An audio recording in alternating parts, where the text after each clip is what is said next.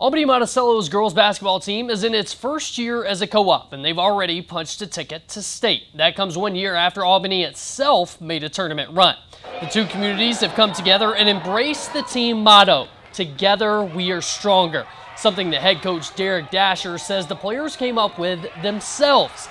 10 girls from Albany and 4 girls from Monticello make up the team. And if it wasn't for this co-op, there might not have been an opportunity to play basketball in one of the small towns. That's something these athletes don't take lightly, and it shows how far they've come together as a group.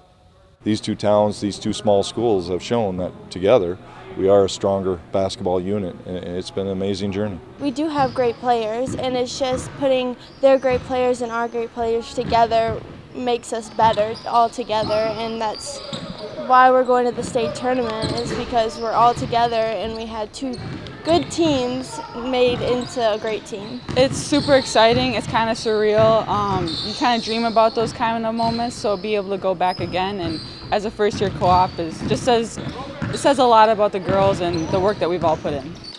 Well, when the Space Stallions get to the Resch Center, they'll play a familiar team. They get Six Rivers East conference opponent Argyle Pecatonica in the first round. Albany Monticello lost to them twice in the regular season, but there's no time to worry about the past. We're super excited for the opportunity and to be back up there. We know it's going to be a really competitive game. Um, having a little bit of prior experience is definitely helpful, so we kind of know what to expect.